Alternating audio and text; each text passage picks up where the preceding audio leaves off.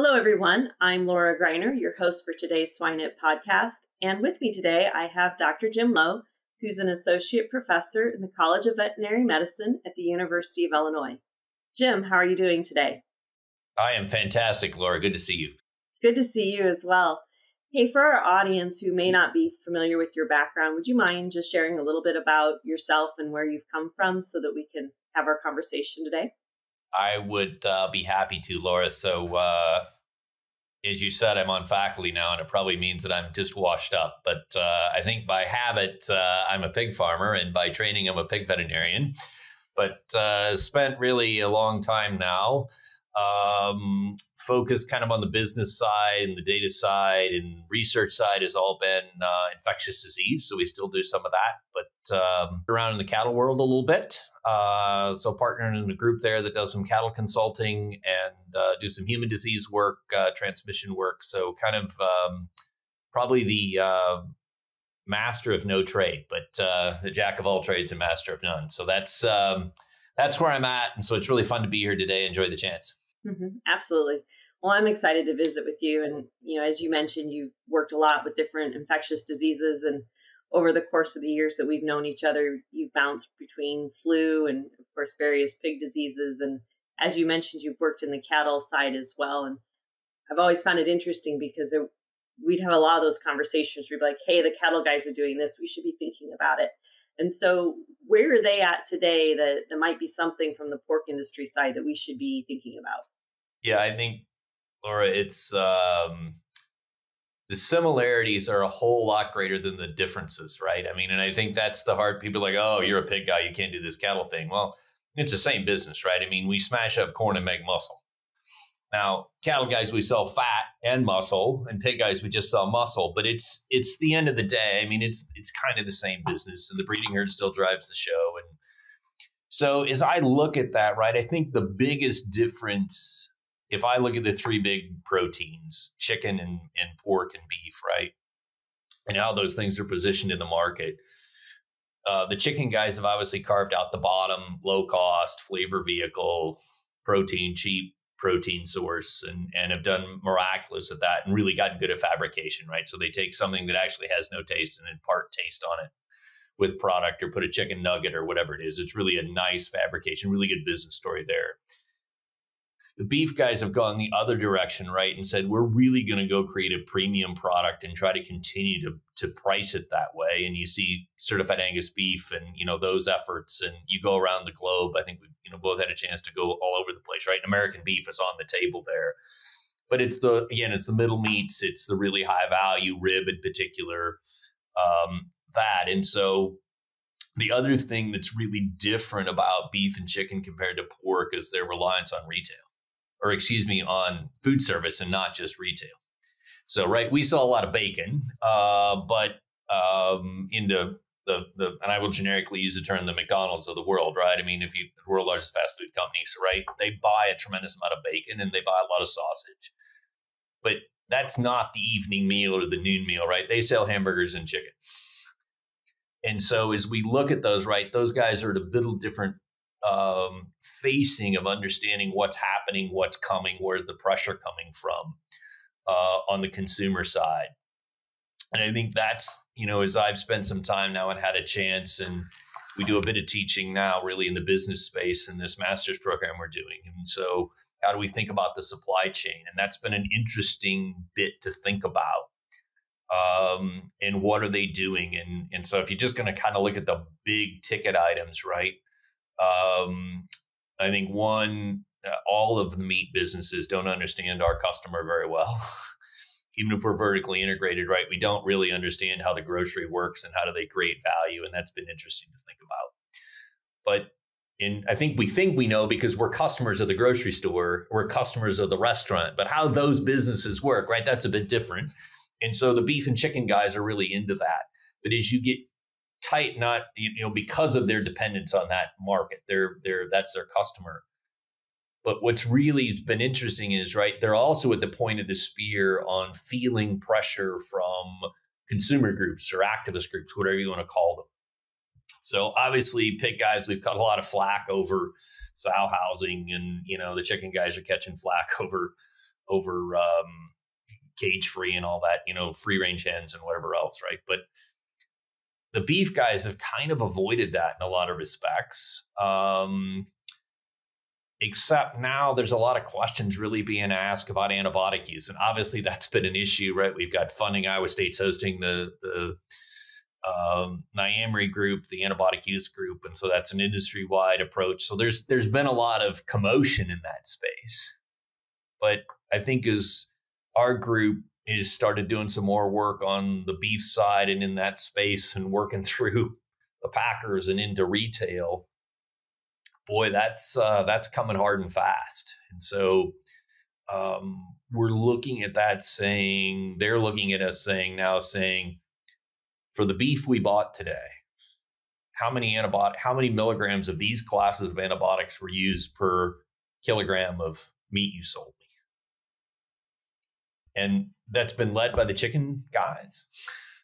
Because they can do that because it's a house and it's a contained plant and right that's a really tightly contained system. And so as the beef guys are being asked that question mm, uh, mm, uh, um, some yeah we use some. Mm-hmm. so i think those are right those are kind of the things that we're looking at saying and obviously we've had changes in the law and everything else but i think as i look at where we're coming today it's this idea of how is the consumer going to influence what we do on the farm? And what role, therefore, does the farm actually supply play in supplying food? And where does that fit? What does that look like? What are those macro trends? And I, this antibiotic thing has been um, scary and um, interesting to interesting. Um, to look at all at the same time, right? It's like watching a train wreck. I'm curious, are they actually giving levels? So, for example, if they ask how much of Ceftiofur has been used, um, would they be setting a certain standard, saying we don't want any more than so many milligrams per kilograms in that meat ever ever given? And we understand there's withdrawals, but are they doing that at this point, or are they just wanting documentation? They don't know what they want which is scary, right? And so we we just want to know. And I think that's been the key message that and we can't tell them often what they should know. So the request today is basically, if you look at most of the spots we've been at, I think San Francisco is probably the most progressive spot with this. And I don't mean politically, I mean they are way ahead of the curve on this. So San Francisco passed a law several years ago that said, uh, you, thou shall report, Mr. Grocer, Mr. Whoever, how many milligrams of all these seven or nine classes of antibiotics have been used. So, how much cephalosporin, how much macrolide, how much aminoglycoside, right? By drug class. Milligrams of use per kilogram of meat that showed up in the store today. And so the, the groceries there in particular feeling the heat. And they've, you know, they've tried to work through it and said, oh, well, we'll get to that. And now they're saying, no, there's no more getting to it. We're going to fine you if you don't get this done. And so, right, you're seeing that. And certainly there are other large food service organizations starting to ask those questions. and retail organizations starting to ask those questions. And there's been a lot of quotes. Should it be the number of doses? Should it be this? Should it be that? And obviously, when you start measuring milligrams per kilogram, that's a challenge because, right, if I give um, Draxxin, azithromycin, that's an extended duration antibiotic. So I give the dose once. And if I'm giving, uh, maybe a better example is ceftiofur. There's two, basically three forms of ceftiofur, right? So I can give Exceed, which is an extended duration. So I give it once and it hangs out for a long time, or I have to give three doses. And so none of those questions are really being asked around uh, what are we doing with antimicrobial resistance? They're really saying more use is bad. And I think that's the generally assumed approach. I don't know if we know that. Like, I'm not sure the science is that clear. but the assumption they're working off is more is bad. So they're just saying, listen, we just want to know what the baseline values are. You tell us what you've done. And thank goodness nobody's saying today in that steak or in that pork chop. They're merely saying at a macro level, what's your supply chain using? And and so that's a challenge, right? We get the same conversation is going to happen around carbon use. But I, I think those and they're fascinating questions to me, but it says as producers, our customer's customer is going to be forced to do some things. Now, does it have value? Probably doesn't have intrinsic value that you're going to pay me more for my pig or you're going to pay me more for my steer. But it certainly looks like it's going to be a real market access piece. And so the first that adopted it's a little bit like crated sow housing, right? The first we were getting a premium on the first guys that put in crated sow housing. It's Proposition 12. It's all those conversations. The first adopters are going to make some money but that's pretty short lived. And then it's going to be, hey, here this comes. And so the challenges, which means opportunities for us, are really around what are we going to do with data? Who's going to win the data battle? In the pig world, how are we going to capture that? Feedlot world, it's pretty easy. We take all those sick cattle to a treatment area and we treat them. And because they're in different lots and different pens, and those pens have different owners often, or that's how the system was built, we bill the drug back to the individual lot as it's given. So our treatment records in the cattle world are fantastic. So we've got that granularity in the feedlot world. Now we don't have anything before they show up in the feedlot. I mean, we have no earthly idea what happens. So there's a big gap there, right? Because of the way the industry works. We've traded those cattle multiple times. You certainly are seeing people getting thinking about that. We can talk about really where Walmart's at trying to move that forward. But there's the data bit that works on the cattle side. As I look at it on the pig side, boy, we're a lot of that's on paper. And we may not actually be recording how many milliliters went to that pig. And we've got, uh, we put some bottles in the barn, but did we get an inventory back? And yes, we know how many bottles the system bought. And it appears today that that may be adequate. Like, ah, we just wanted how much you bought. But, you know, it's the uh, it's the mission creep thing. Once they know that, they're going to actually force us to verify that. So I think you know, as a as veterinarians are thinking about it, or really producers are sitting there thinking about it, saying, okay, what am I going to have to do to my data systems that create that transparency? And that's a cost, and there's no flat out we're going to pay for that. So then the question becomes, how do I use that change that's going to be forced down my throat? We can talk about it all the polite. Somebody's going to do this. I don't know thou shalt like it at some point, right? And so um, just don't choke, just swallow, swallow gracefully. Um, and so then the bit comes on the backside. How do I turn that into something that's got real value with us? And so, how do I use that treatment data better? How do I create different different metrics out of that internally to really improve my efficiency in my system? Because that's we're going to get the cost borne on us one way I think that's a novel way to look at it is is rather than just say, well, it's something I have to do. Obviously, every time we do these things, those those records provide us information. And again, while it might be some back information, um, you know, I talked to somebody this last week. We were talking about real time monitoring, and so if, if some of the software starts to pick up and that gets entered real time and, and the feedback comes back um, as well as keeping track of inventory, right? Then we start to see that progress and really allowing producers to take that technology and that information and move it forward and become a useful piece rather than just a I'm checking a box must do type of, of approach. Um, I think what still concerns me too, though, is okay. So we're going into California and we're we're taking these records of okay, well here's here's how much milligram per kilogram of antibiotic came through product they're going to take that number and they're going to tell the consumer, right? And you you started down that path. The consumer doesn't know what that means. They have no clue that this product might require more milligrams from a from an active level versus this one to even get a response. And so how do we maybe start thinking about how to tell that story, right? Because I think that we're going to have to be ready for that piece. That's that's the next step.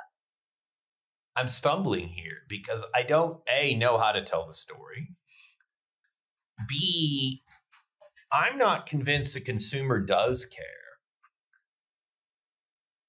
and I don't, I, please, I don't understand the grocery business, but the grocery business is about selling product. They're selling SKUs. It just happens to be something you can eat.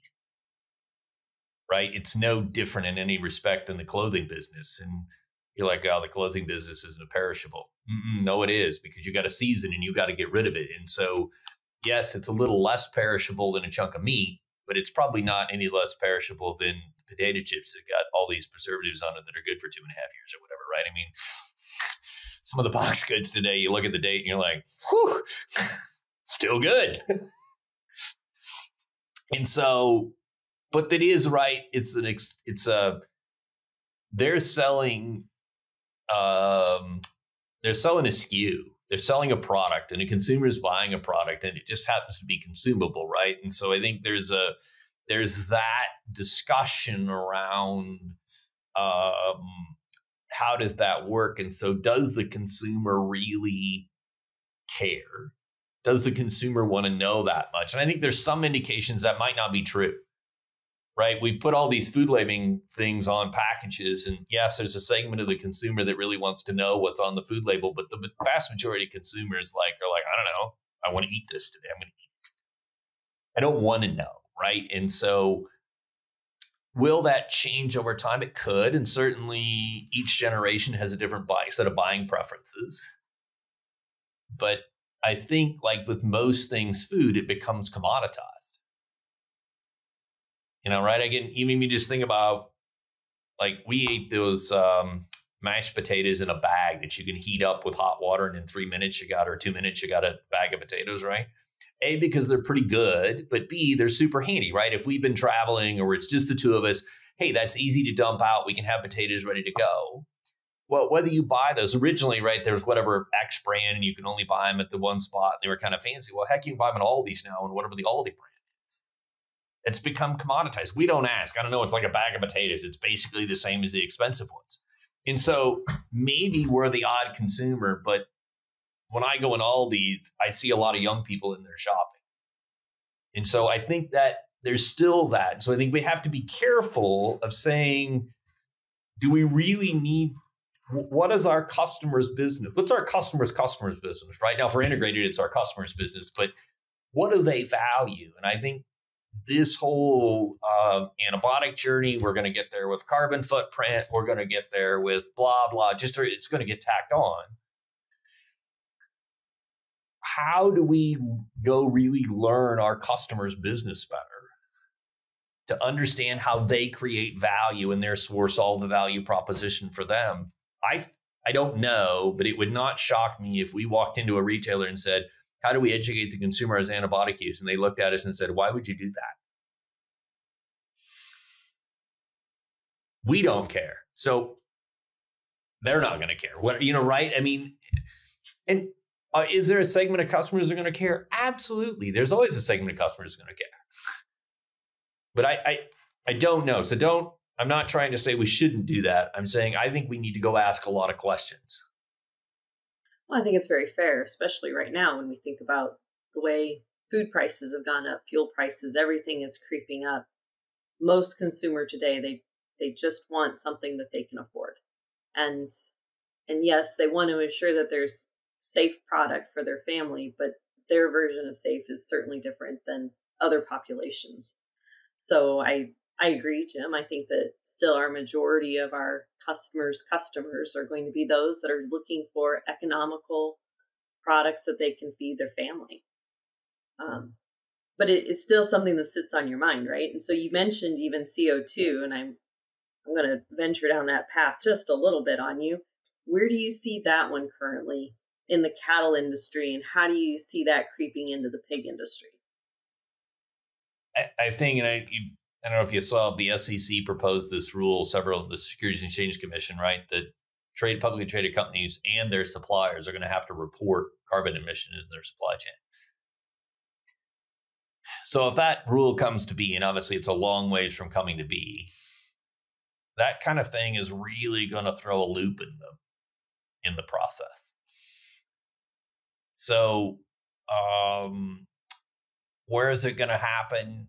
Um, the cattle boys are obviously square in the crosshairs because it's what 3x the amount of carbon to produce a pound of beef as it is to produce a pound of pork and you know like 20% more 30% more to produce a pound of pork than it is a pound of chicken.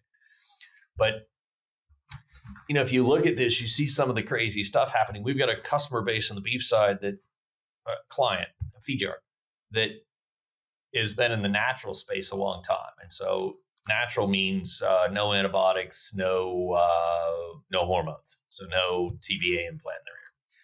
And so um, they've been in that space, have been very successful in that space.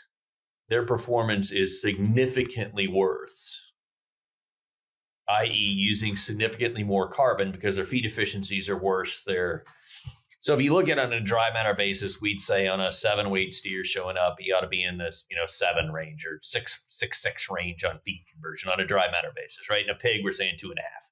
So you're at a two and a half to one already disadvantage, right? Feeding him corn and soybean or feeding him corn and a little bit of roughage. There's the grass fed movement today.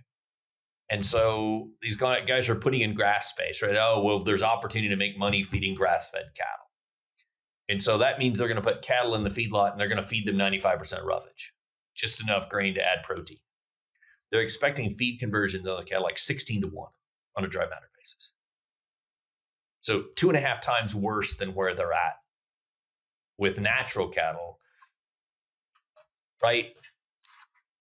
Or compared to high quality or compared to, you know, really normal TBA type implanted conventional cattle, I guess is the word I'm looking and so I find all those things really contradictory, right? That the people that want to buy the grass fed are the same customer who's worried about carbon emissions is the same one who's worried about welfare. And we know if, I mean, kind of my rule has always been death is bad welfare. That's kind of like, I mean, I don't mean to make it complicated, but like, okay, we can have all these ob- these subjective things, but like, if you dead, if they're dead, like that must be bad. Like, I don't want that for me, for them, for whoever, right? there's probably suffering that occurred before they died.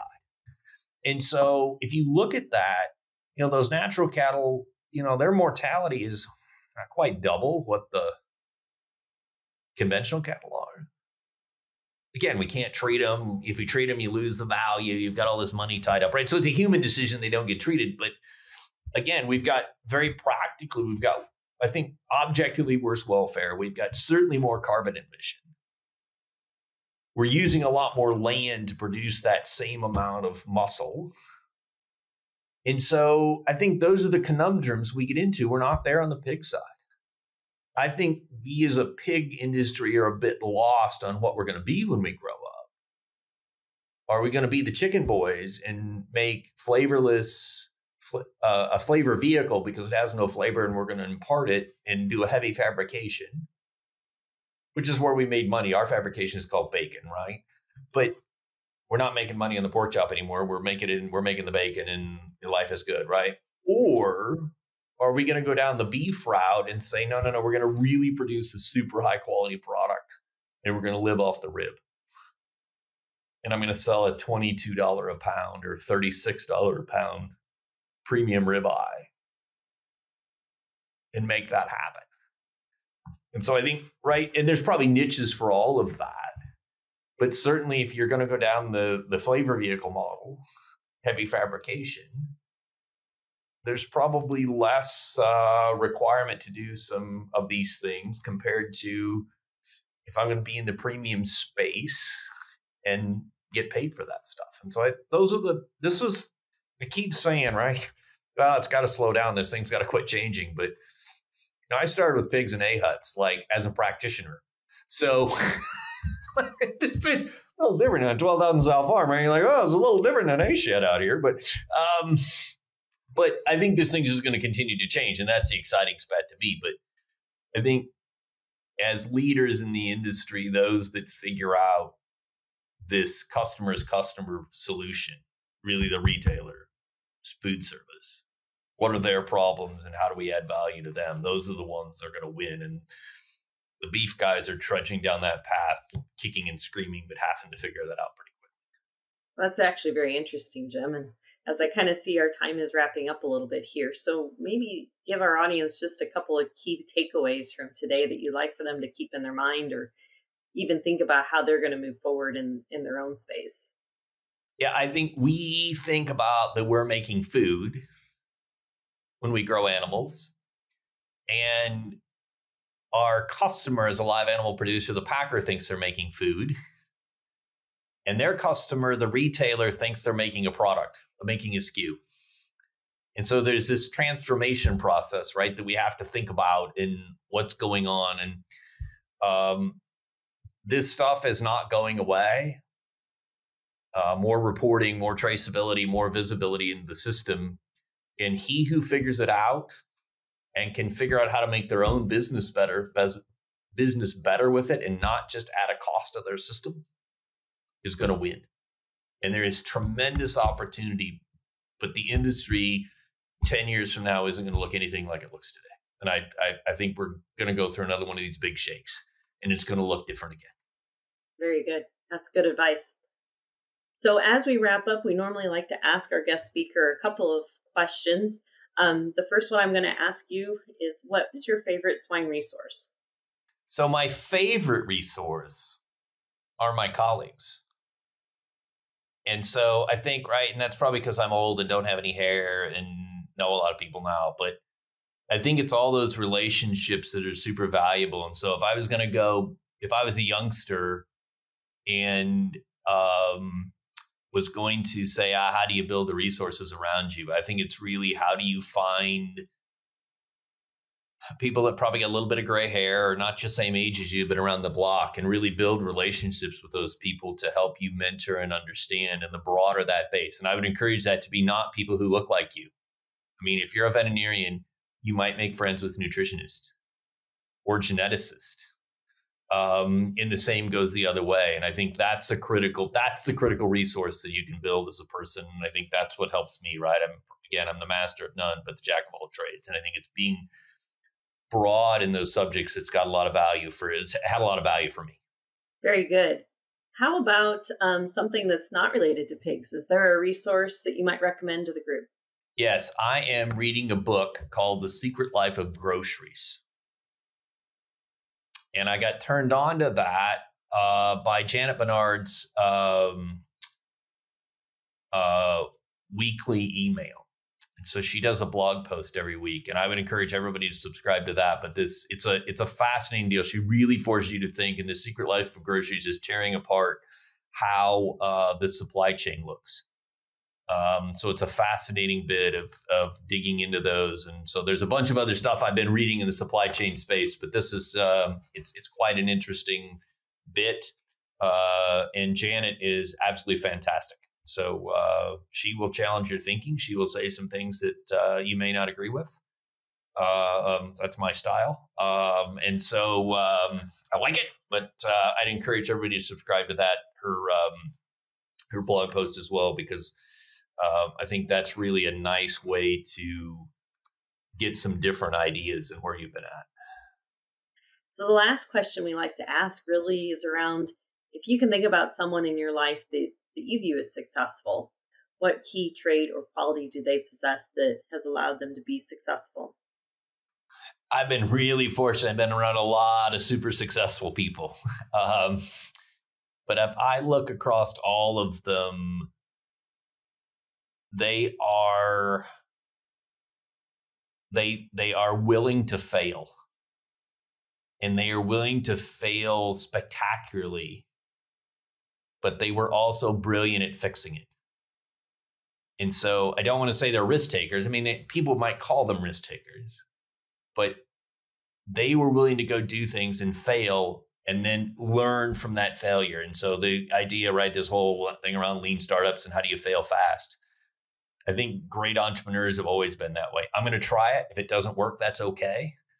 Um, and so, not having the brilliant plan, just knowing which direction we're going to go and try it and have at it. And if it works, great. If it doesn't, we'll fix it. And I think every successful person I've been around, that's been their approach. And um, again, I've been lucky. That's uh, to have people encourage me and push me and do those things. But that's that's what I what I've experienced.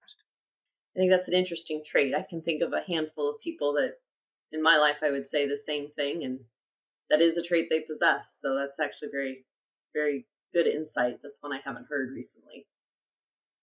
So, Jim, we do want to thank you for your time. I know uh, you're a very busy person. Uh, for our audience, just to recap, this is Dr. Jim Lowe, who's an associate professor at the University of Illinois in the College of Veterinary Medicine. Jim, thank you so much for your time today. Thanks for the opportunity, Laura. Imagine if, with a few key concepts, you could have the potential to create a massive positive impact by bringing from hundreds of thousands to millions of dollars for swine producers.